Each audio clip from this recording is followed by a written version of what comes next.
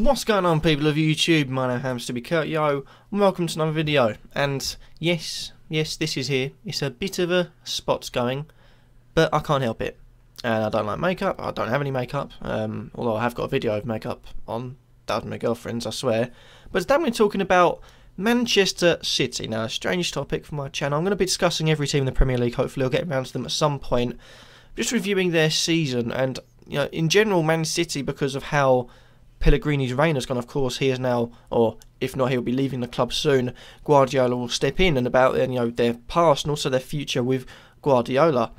First of all, um, I'm one of the people that says Pellegrini has been an awful manager for Manchester City. I'm going to tell that out straight out there.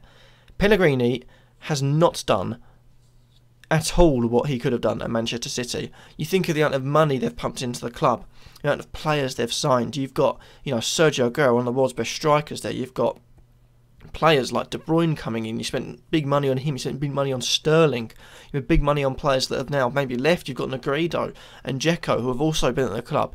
You've got Kompany at the back, and I think for for them to win one Premier League and two League Cups whilst Pellegrini was in uh, charge, it's dreadful. It's absolutely dreadful, and there's no excuses for it. His management of the team has been poor, and you know this season it shows. Lots of people were saying, "Oh, you know, signed De Bruyne, signed Sterling this season." You know, also Otamendi, big money transfer coming in. Oh, this season, you know, Man City all the way. I couldn't see it because of the fact that Pellegrini was in charge, and he's done he's done okay. He's won one Premier League, but when you invest that amount of money, especially this season, you expect to be challenging for the title, not pipping Manchester United to you know top four on goal difference. Admittedly, it was about 18 goals I think they won by, but it's still goal difference nonetheless. If you had lost that game against Swansea, Manchester United would have got top four ahead of you. For the money that you've spent just to scrape into the top four, that's abysmal. That's abysmal.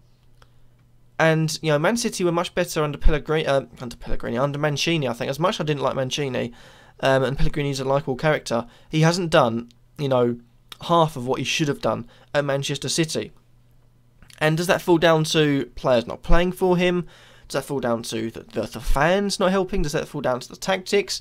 It's a bit of everything for me. I feel like players haven't tried. You've got players like Yaya Toure, whose work rate, you know, is ridiculously low. I think you know if you're looking on FIFA or Football Manager, his work rate is minus three at the moment because it's that low, and you know there's no trying from him.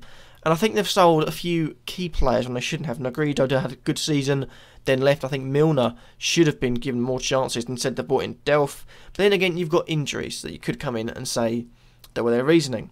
You know, you had Kompany out for a long time, you had Aguero out for spells, De Bruyne out for spells.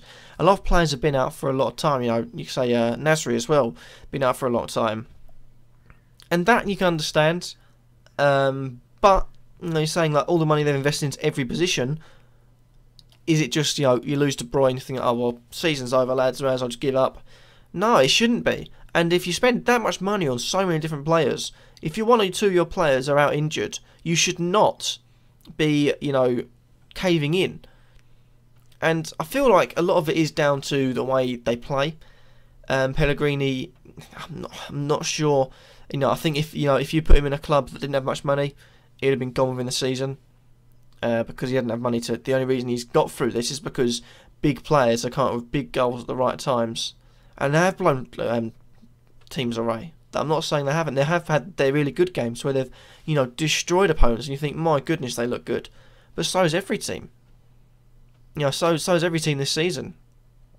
And for me, Pellegrini, uh, to sum it all up before I start rambling on about more and more stuff and just going around in circles, Pellegrini, he's all right at very very tops, but he's been a poor poor manager at Manchester City.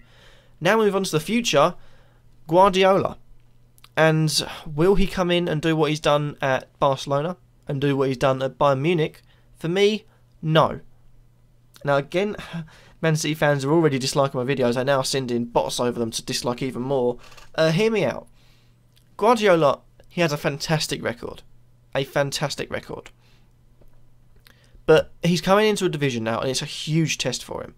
If he walks in and does, you know, fantastic immediately, you know, this season, I'll be impressed because teams are going to spend money. The new TV deal, teams are going to spend money.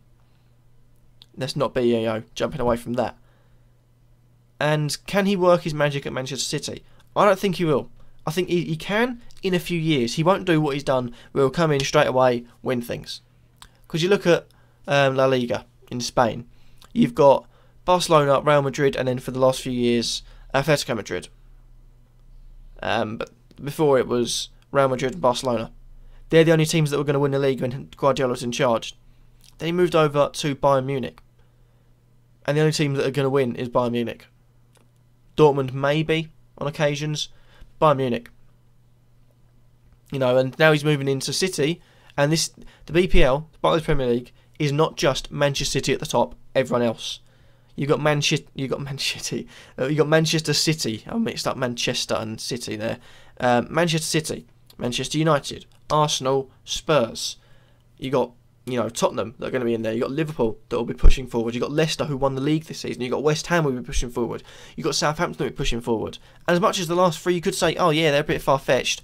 Leicester City 5,000 to 1. Anything can happen. West Ham, unfortunately, faded away in the last game, otherwise they could have been pushing for um, you know, you know, good Europa League position. Then you've got Southampton who really, really pressed on. And the amount of times this, um, you know, in the last few years, people have said, oh, this player's been sold by Southampton. Now we'll see if they can do well without them. And every season, no matter what manager they have and what players they've lost, they've come out and they've performed admirably. Now, well done to the players, to the manager at Southampton, and also, you know, the people that hire the managers at Southampton. Because they've made fantastic choices. Pochettino comes in, now goes to Spurs. Koeman comes in, he could go anywhere.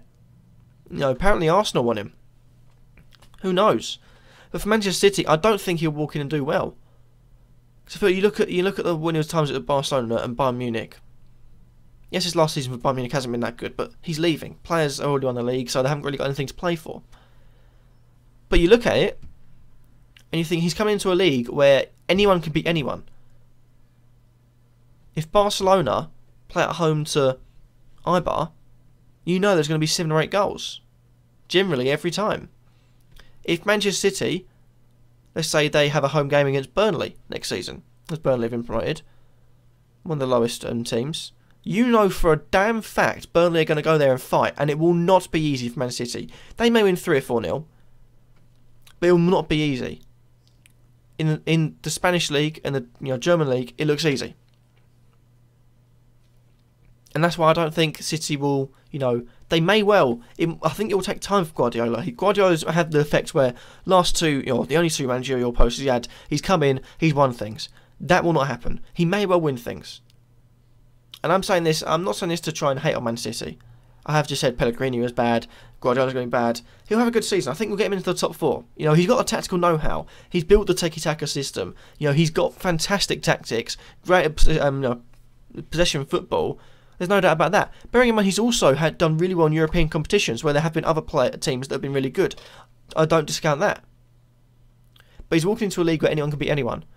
If Barcelona, let's say, are in the Champions League semi-final against big team, you've got Eibar in the middle, let's say, or Las Palmas, or someone like that, or Levante, you know that you can rest all your big players and you'll still get a good result. In this league, as proven, you know, this season, if you rest your big players against any team, you will find it hard. Manchester City rested their best, um, best players against Southampton in preparation for the Real Madrid second leg, and they got whopped 4 2. You know, that's the sort of thing I'm talking about. Manchester City, they will be, I think they'll be successful under Guardiola if he chooses to stay more than three or four years, um, like he has done in Bayern Munich and Barcelona. But it will not come straight away. I'm easily putting bets on uh, Guardiola not winning any trophies in his first season. So I don't think it will happen. Capital One Cup? Maybe. But for me, Guardiola will take need time in this job for it to work. Thank you guys for watching nonetheless. Hopefully you have enjoyed. What do you think about Man City? How do you think their seasons have gone under Guard uh, under Pellegrini? And how do you think Guardiola will take them? Where do you think he will take them? Will he be a success? Will he be a flop? Let me know in the comment section down below. Remember to like, comment and subscribe. Spread love and not hate. And I'll catch you all in the next video. Peace.